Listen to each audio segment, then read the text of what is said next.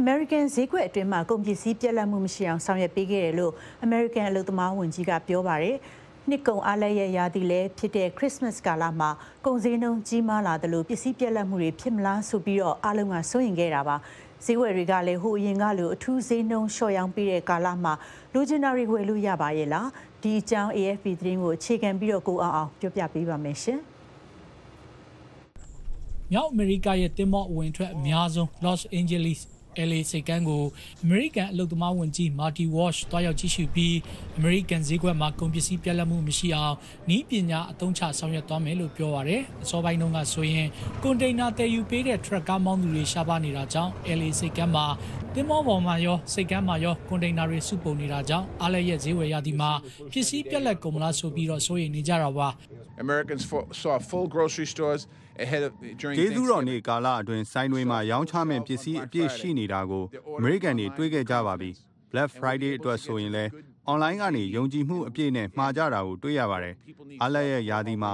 လူတွေလိုအပ်တာတွေအားလုံးဝယ်နိုင်ဖို့ကျွန်တော်တို့ဆောင်ရွက်ခဲ့ပါတယ်။ တင်မောပေါ်ကနေကုန်ပစ္စည်းတွေချမပေးနိုင်တာကိုသာမမြင်ကြပဲကိုဗစ်ကရောဂါကြောင့်ကမ္ဘာတလွှားမှာကုန်ပစ္စည်းထုတ်လုပ်မှုရပ်ဆိုင်းတာနှောင့်နှေးကြန့်ကြာတာတွေကိုလည်းထည့်သွင်းတွက်ချက်ဖို့လိုကြောင်းဝန်ကြီး Wash ကပြောပါတယ်ဒီလိုအခြေအနေမှာကြားရောက်လာတဲ့အားလည်းရဲ့ယာတီလည်းဖြစ်ဈေးဝယ်ယာတီမှာအစင်လာမပြတ်ဈေးဝယ်ကြသူတွေကတော့ပုံမှန်ရှိနေတာပါ Luckily I just found the one thing I really wanted ကံကောင်းပြီးတော့ကိုလိုချင်တာကိုရှာတွေ့ခဲ့ပါတယ်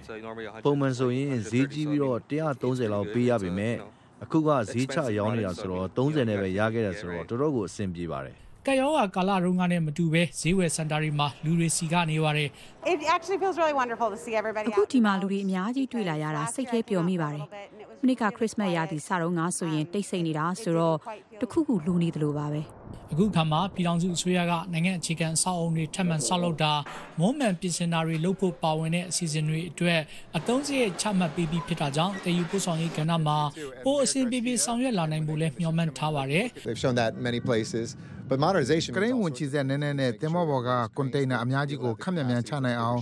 လေထုညဉ့်ညမှုတက်တာအောင်လျှက်စစ်စွမ်းအင်သုံးတဲ့တင်မောတွေဖြစ်လာအောင်ဤပညာသုံးလုပ်ငန်းခွင်တွေအတွက်ဝန်ထမ်းတွေကိုကြိုတင်သင်တန်းပေးတာဒါတွေအားလုံးပါပါတယ် အမေရိကန်တော်တော်များများဟာအခုချိန်မှာကိုဗစ်ကာကွယ်ဆေးထိုးထားပြီးဖြစ်တယ်လို့နိုင်ငံတော်ဝန်ယောဂကူးစက်မှုတွေတစုံတရာထိန်းချုပ်လာနိုင်တာကြောင့်စီးပွားရေးပုံမှန်ပြန်လည်ပတ်လာနိုင်ဖို့အားလုံးကမျှော်လင့်နေပါတယ်။ဒါပေမဲ့လည်းခုအခါကမ္ဘာနေရာတချို့မှာ Omicron COVID virus မျိုးဝဲကူးစက်မှုတွေရှိလာတာကြောင့်ဒီကူးစက်မှုကိုကြိုတင်တားဆီးဖို့နယူးယောက်လိုပြည်နယ်မှာအရေးပေါ်အခြေအနေအဖြစ်သတ်မှတ်ထားပြီးအဆောက်အုံတွင်နှာခေါင်းစည်းတက်ဖို့လည်းစီမင်းထုတ်ပြန်ထားပါတယ်ခင်ဗျာ။